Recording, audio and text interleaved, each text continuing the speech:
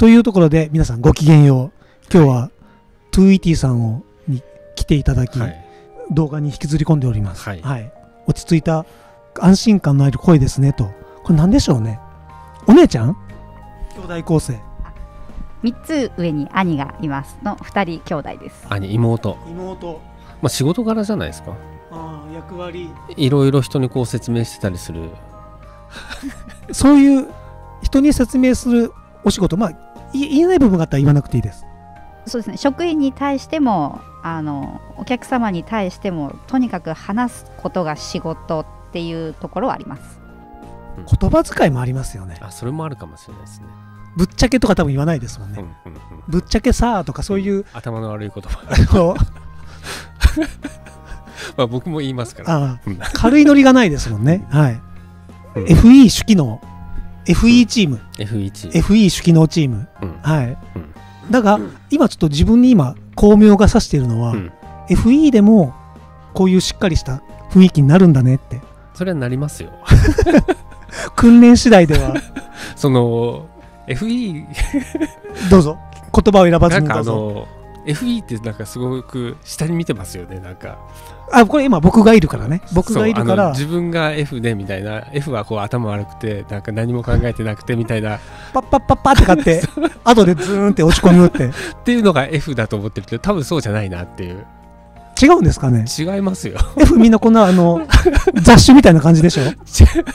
違いますよ尻尾ペラペラ、あーって尻尾振って、って。そうじゃないですよねっていうところですよそんな感じじゃなかったですね。うんうん血統書がある感じ。あの二等兵さんのイメージするとこもすごいよくわかります。あ、抑えてる部分はある。プライベートではそういういう要素も強いです。あ、なるほど。なんか感情優先って話じゃないですもうか本当に感情的うんなところが自分の素だなと思ってます。ちなみにトヘタイプ6って言われるんですけど、あのタイプ6はうん。楽観じゃないんですよね。はいはい融はい。融和はい。型。うん。タイプ2は、えーと楽観。うんと楽観とはい。反応ですよね、あ、比べるとこそこでしたっけそうそう。もう今ね、最近エニアグラムの話をしてないから、はい。あ反応、はい、楽う観。ん。楽観な感じは強いですか？めちゃくちゃ楽観主義です。なるほうんよく言えばポジティブ。悪く言えばまあ良くなるだろうと。大丈夫だろうと。っていうこの ENFJ、うん。人間関係で重視することは強いチームを築き調和のある環境を作りたいと望むと、えー不快感な職場の人間関係雰囲気モラルに影響される。個人的な問題を敏感に察知する、えー人間関係上の摩擦について考えを巡らし理解しようと望む。衝突ストレスプロジェクトに関わっている人々の負担に意識を向け対応しようとする。調和を求める。他の人が人間関係の問題に費やしたいと思うよりも長い時間をかける。あ人よりも私の方が気を使ってるんだって話なんですね、そういうことですよね。みたいなとこですかね。っていうふうに思ってるっていう、んん。この辺なんかピンとくるものはありますでしょうか？もう本当にその通りだなって思います、まあ、いろんな人がいるのでみんなが仲良くっていうのは無理なのかもしれないけれどもまあお互いを認め合ってみんなが幸せなその職場にしたいって心の底から思ってます。なんでしょうねこの。NF じゃないですか？あのね、うん。会社案内の取材をしてる感じです。はいはいはい。わかります。あの、うん。もっと個人的なところをぶつけてくれよって。この かっこつけてないで、ぶつかってこいよって。って NF ってこう理想理想主義者じゃないですか言われますよね、はい。でこう多分人間関係が一番いい状態はいはい。世界中のはい。が一番理想だからこうといさかいがなくてみたいなはい。なので今みたいな発言になるんじゃないですかねそれを個人的にもそうやって思ってるみたいな無理かもしれないけどそこが理想なるほど。みんなが気持ちよく楽しく生きられる世の中が世の中が最高みたいな。タイプ2じゃないですか。タイプ2ですよ、っていうとう、ん。若干見下してるところってあります？人を。私が、私は教える側なんやと。うん、あのタイプ2ですよねそれね。言うこと私には何も言わないでって、うん。私は教える側だから。みたいなうん。ところが、あ私今日もそういうとこ出しちゃったなみたいなのって感じる時ってあります？見下してるっていうよりは私も本当に二等辺さんと一緒で 一緒でって言ったら失礼かもしれないですけどあのうかつだなっていう自覚がすごいあるので、なんだろう助けてもらわないとあのチームリーダーはできないなと思ってるので参謀的な人を見つけてその人の意見を聞くようにとか尊敬する上司はこう言ってたなっていうのを自分を律するところが常に頭のここにあるようななんか意識してます。今ね、うん。まだ会社案内の取材な感じです。なんかあのあれじゃないですか？そこにもさっきあったじゃないですか。こう自分の方が気を使ってる。そうですね。自分が気を使って一生懸命みんなをこう誘導じゃないけど、はいはい。しようとしてる。っていう感じですよね。ああなるほど。だから自分はこうみんなのこうサポートを一生懸命ししなきゃみたいな。でそれをこう、はい。私の方がやってるっていうのが2的なところですよね。っていうとこですよ。そういうとこってあります？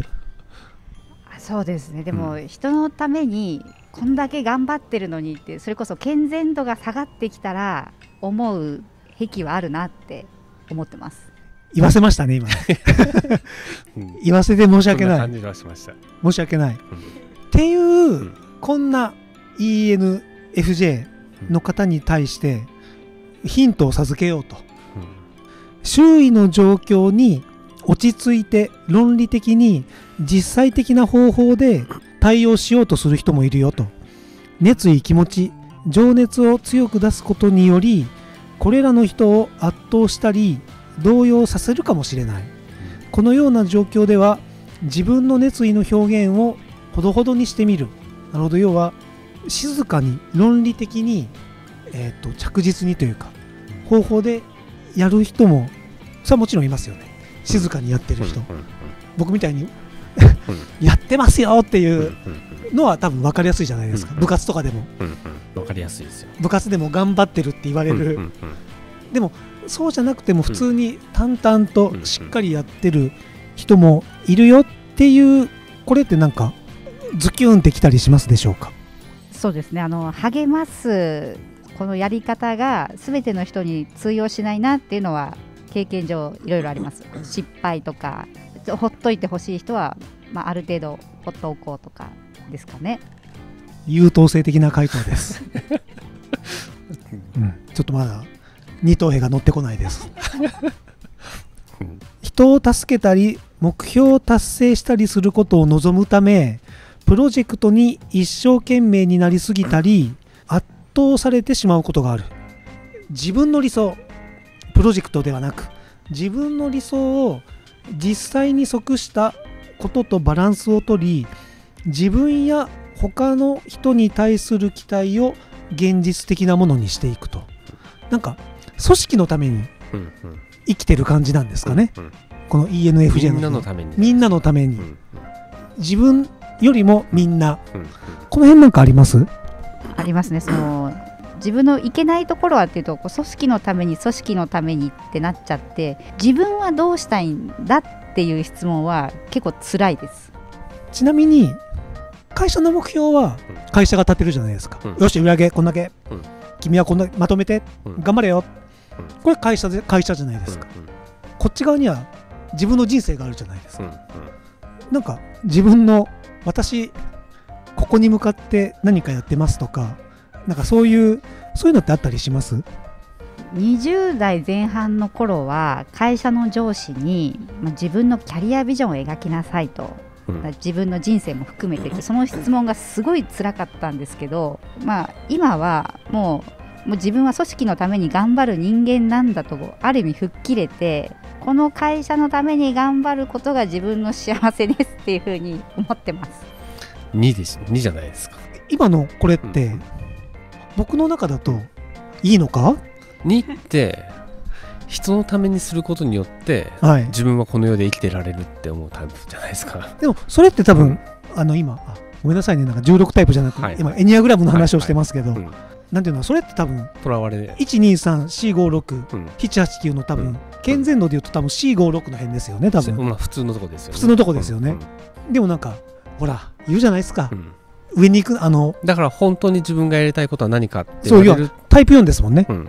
あのタイプ2が向かう方向としては、だけどそこがあんまりかん意識したことがないからそれを聞かれると辛いって話ですもんね。